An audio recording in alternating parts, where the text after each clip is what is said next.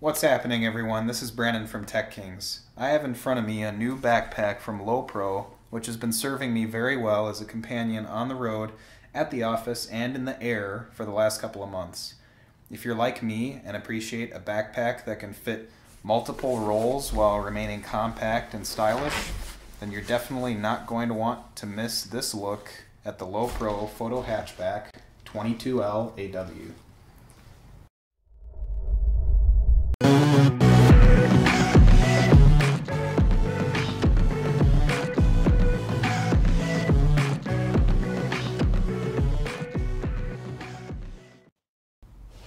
Before we get to the bag itself, let me give you guys some insight as to why I chose the photo hatchback in the first place. Much like the carry speed camera sling that I reviewed a while back, I purchased the photo hatchback with the intention of using it at the Consumer Electronics Show in Vegas. If I was to be satisfied with my choice, then this bag had to hit a few key points. Logically, it had to carry my DSLR and have room to spare for accessories like lenses, flashes, batteries, memory cards, and card readers.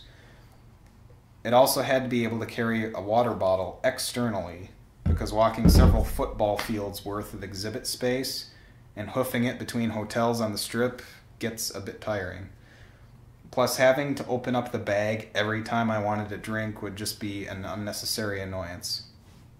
My mobile device of choice for the trip was a Microsoft Surface RT, so I really wanted to find something with a tablet pocket or enough room for a small notebook. Those were my only three requirements for a photo backpack, and while they might not seem very demanding, I was shocked at how many bags I was able to immediately strike off my list. Then I discovered this photo hatchback from Lowepro, which at a price of $119.99 isn't cheap for its size, but it fit my wish list to a T and does everything it sets out to do extremely well. Starting with the exterior of the bag, you'll quickly notice the Lowepro logo printed in this large distressed font, which I actually really like. Some people don't like a lot of branding on their bags, but I think this has been tastefully done, and the distressed font kind of helps the text blend in with the rest of the back. And although Lowepro is a well known brand, there really isn't anything about this visible portion of the bag that screams, hey, I'm a camera backpack carrying hundreds of dollars in hardware. Now, this bag is available in two other colors, which Lowepro calls Pepper Red and Galaxy Blue, both of which are a lot more vibrant than this charcoal color and are sure to get you noticed. Another thing that's immediately apparent upon handling the bag is the quality of the materials. The photo hatchback is mainly made up of ballistic nylon, like most technical bags these days. The shoulder harness and back of the bag are covered in a heavily ventilated mesh that has a reasonable amount of cushion, but probably not enough to keep you comfortable on a long hike with heavier gear. The plastic buckles are beefy enough to stand up to normal wear and tear and do a good job of keeping the straps at the desired length. There's also a chest strap and a waist strap to further stabilize your load. On both sides of the bag are these stretchy, breathable pockets that can accommodate a large Nalgene or a decent sized tripod. Being able to have a water bottle within arm's reach without having to open up the bag is a huge convenience, and it's something that I honestly think should be standard on every backpack especially a photo backpack, given that it can double as a tripod holder. The Nalgene is about the largest thing you can fit in these, just to give you an idea of what these pockets can manage. Up top, we have another basic convenience feature that ends up getting utilized a lot more than you would think, which is a grab handle. At first glance, it doesn't look like it can handle much weight, but I haven't had any reservations about using this handle to lift 20 pounds or so of cargo. The seams on the back here appear pretty robust, so the average user shouldn't have any issues hefting a reasonable load with this handle. The photo hatchback also comes with one of Lowepro's great all-weather covers, hence the AW in the name. It's stowed in this bottom pocket and fully encases the body of the bag to protect your belongings from rain, snow, and sand.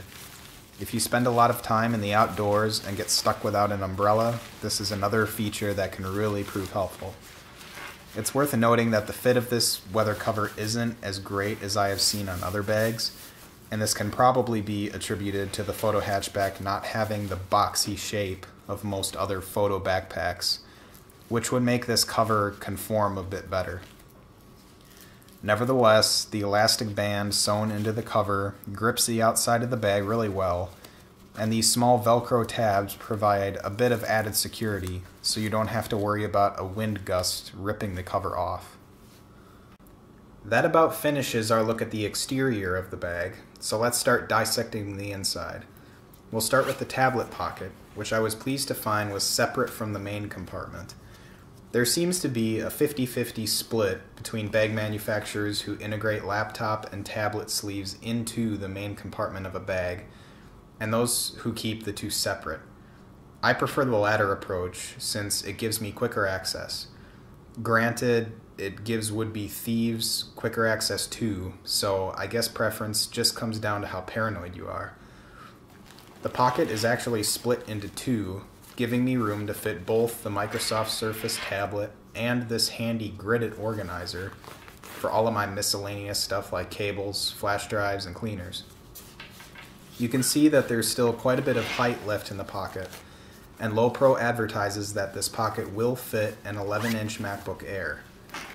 Now, one unintended use for this tablet pocket that I discovered is that it's very well suited to carrying a hydration bladder. This is a 1.5 liter bladder taken from my CamelBak, and as you can see, I can fit it into the pocket with it completely full. I can even route the hose through the loops on the shoulder straps to make it easily accessible. Moving around to the front of the bag, we see why Lowepro called it the photo hatchback. The camera compartment is covered by this zippered hatch that integrates into the backrest. This layout keeps the center of gravity down low as possible with the heavier camera at the middle.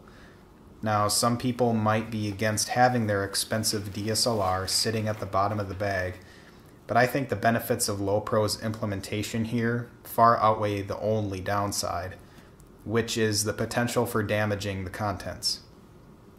Firstly, the entire compartment is surrounded by half inch thick padding, and you get a level of added bottom protection from the crumpled up all weather cover that sits just below here.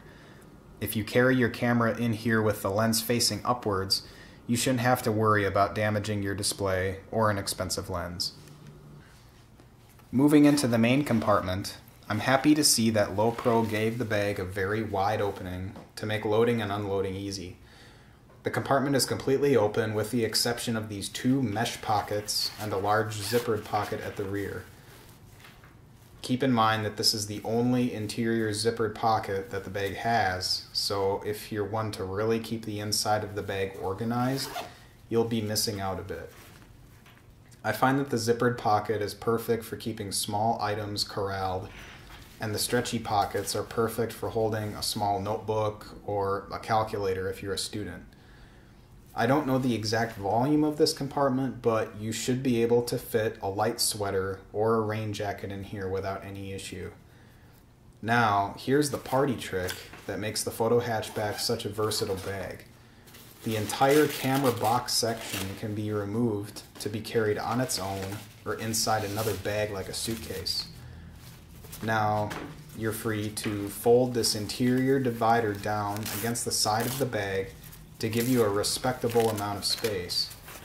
Now, when you aren't busy using the bag at photo shoots and events, you can continue to use it day to day as a basic backpack rather than letting it sit in a corner like a dedicated photo bag would.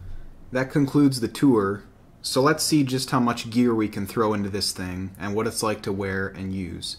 You can fill the camera compartment with the DSLR with up to a 18 to 105 millimeter zoom lens attached, as well as 2 to 3 extra lenses, a flash, or other accessories. There's a small elastic pocket built into the hatch that's a great place to put your spare memory cards. I like to utilize the zippered pocket in the main compartment for all of my miscellaneous gear, while the mesh pockets hold pens, notebooks, or an external hard drive. There's still plenty of room left over for me to toss in a rain jacket for bad weather. As I showed before, the tablet pocket easily swallows tablets and small notebooks. What makes the photo hatchback so great is how it can be reconfigured to fit your day to day routine. If you're heading to the gym or to a class, just rip out the photo box, fold down the interior divider, and you're ready to go. A change of clothes for the gym or a pair of large textbooks easily fit into the main compartment with some room to spare. Thanks to the inclusion of a waist belt, it turns out that there's more than one way to access your gear while you're on the move. With the hip belt fastened, you can swivel the bag around to your front side, giving you great access to the camera compartment. I opted to ditch the waist strap, but that doesn't prevent me from getting to my gear without taking the pack off, as long as I'm careful. After using this bag for about three months now, I can only cite two small complaints. Normally, when I pick up a new backpack, I'll set the shoulder straps to the desired length and never readjust them for the entire lifetime of the bag and I don't like to have the bag hang loosely, so I'll typically cinch up the straps to a point where there's a decent amount of excess just hanging there. One of the things that I thought was awesome about my first camera bag, which incidentally was a Lowepro, is that it had these elastic bands which could keep the strap excess from dangling. This is something that would have been extremely easy for Lowepro to implement on this bag without adding any real cost to the bag. So I was disappointed to not see this feature here. Revisiting the side pockets, I also would have liked to have seen some type of buckled or elastic strap above them to better secure tall items. Not having a top mounted fastener means that I can't carry a slender monopod in here or even a tall tripod um, which might topple out if I were moving around a lot. If this is very important to you, then you might consider checking out the Lowepro Rover Pro. That's a bag more geared towards wilderness photographers, since it can accommodate trekking poles, a hydration bladder, and a sleeping mat. It also features removable camera boxes, just like the Photo Hatchback does. Overall, though, I think the Photo Hatchback is one of the most flexible and good looking backpacks that I've come across. If you find yourself splitting time between an office, a classroom, the outdoors, and planes or trains, then this is a product that I think you could really use to its full potential. Don't forget that Lowepro also makes a smaller 16 liter version of this bag. However, the decrease in size really limits the number of larger items that you can carry. I would only consider it if you are working with a compact system camera and just the bare essentials for photography. Hope you guys enjoyed this in-depth look at this great bag from Lowepro. For more info on the Photo Hatchback 22LAW, you can find a full written review along with plenty of photos on TechKings.net, and we hope to bring you more reviews of photography related products in the future. Until next time, this is Brandon signing off.